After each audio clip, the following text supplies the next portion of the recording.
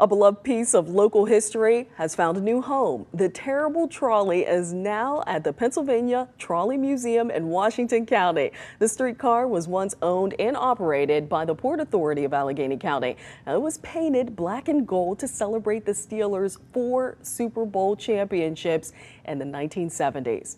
This idea came from a nine-year-old girl named Kim Seaver who wrote a letter to the then mayor, Richard Caliguiri. She suggested that the city paint a trolley to honor the team. Well, the mayor forwarded that letter to the Port Authority, and a short time later, the terrible trolley was born.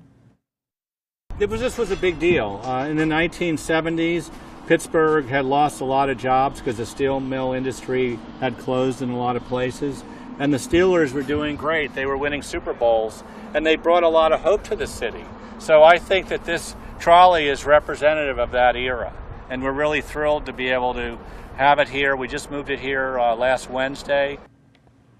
The streetcar was retired in 1988 and then rebuilt. It returned to service in 1989 and ran until 1998 when it retired for good.